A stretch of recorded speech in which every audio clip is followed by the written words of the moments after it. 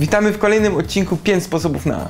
Tym razem pokażemy Wam 5 szybkich patentów na różne życiowe sytuacje, które w mniejszym lub większym stopniu przytrafiają się każdemu z nas. Zobaczcie, co dla Was przygotowaliśmy. Wybierając się na zakupy, od czasu do czasu zdarzy się, że nie mamy przy sobie monety, czy też specjalnego żetonu, aby odpiąć wózek. Zaraz pokażę Wam banalne rozwiązanie tego problemu. Po pierwsze, wystarczy odpiąć klucz z okrągłą przypinką. Drugi krok to włożenie go w mechanizm zatrzaskowy w wózku. Tym sposobem śmiało możemy ruszać na duże zakupy. Jeżeli kiedyś zdarzy się tak, że nie będziecie mieli przy sobie monety, to koniecznie pamiętajcie o tym sposobie. Nie wiem jak was, ale w życiu denerwują mnie dwie rzeczy. Pierwsza to ciepła wódka, no i druga, sflaczałe ciperki. O ile z tą pierwszą możemy sobie szybko poradzić, tak z drugą temat robi się troszeczkę bardziej skomplikowany. Ale zaraz pokażę wam jak w domowym zaciszu zrobić zgrzewarkę, dzięki której szczelnie zamkniemy wszelkiego rodzaju opakowania. Oglądajcie. Wystarczy, że opakowanie umieszczę przy rancie deski, a z góry położę folię aluminiową. Teraz dosłownie na chwileczkę przyciskamy gorącym żelazkiem i gotowe.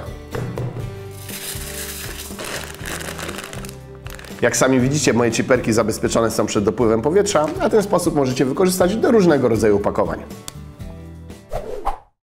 Małe elementy, jak choćby gumki od słuchawek, często się gubią. No po prostu takie dziadostwo.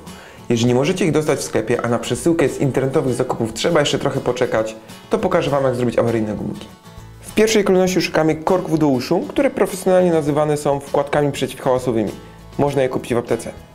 Następnie odcinamy potrzebną końcówkę i drążymy ją przy pomocy wykałaczki. Tak przygotowane gumki wystarczy założyć na nasze słuchawki i gotowe.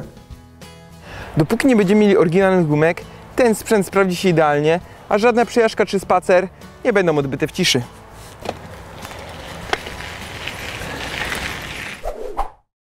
Blender to świetne narzędzie do przygotowywania różnych pyszności, ale po całym tym gotowaniu najczęściej zostaje uwalony kielich z brudnymi ostrzami. Czyszczenie go nie należy więc do prostych i przyjemnych czynności, dlatego pokażę Wam, jak sobie z tym poradzić. Wystarczy kielich blendera zapełnić w połowie ciepłą wodą i dodać kilka kropel płynu do mycia naczyń. Następnie zakładamy pokrywkę i uruchamiamy blender na 30 sekund na małych obrotach. Po tym czasie wrzucamy obroty na nieco wyższy bieg, również na 30 sekund. Teraz wystarczy wylać pomyje i wypłukać kielich pod bieżącą wodą. Gotowe! W ten sposób mycie nawet zaschniętego blendera nie sprawi większego kłopotu. Zresztą sami zobaczcie. Dla większości ludzi największym problemem podczas wieszania szafek czy półek jest to, aby były równo zamocowane, a pomiędzy haczykami do ich zawieszenia były odpowiednie odległości.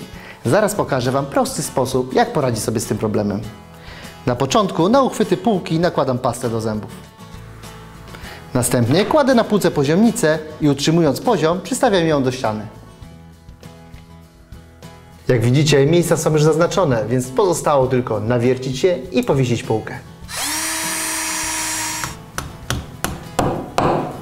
Dzięki temu sposobowi szybko i bez problemu powiesicie każdą półkę czy też szafkę. Sami spróbujcie.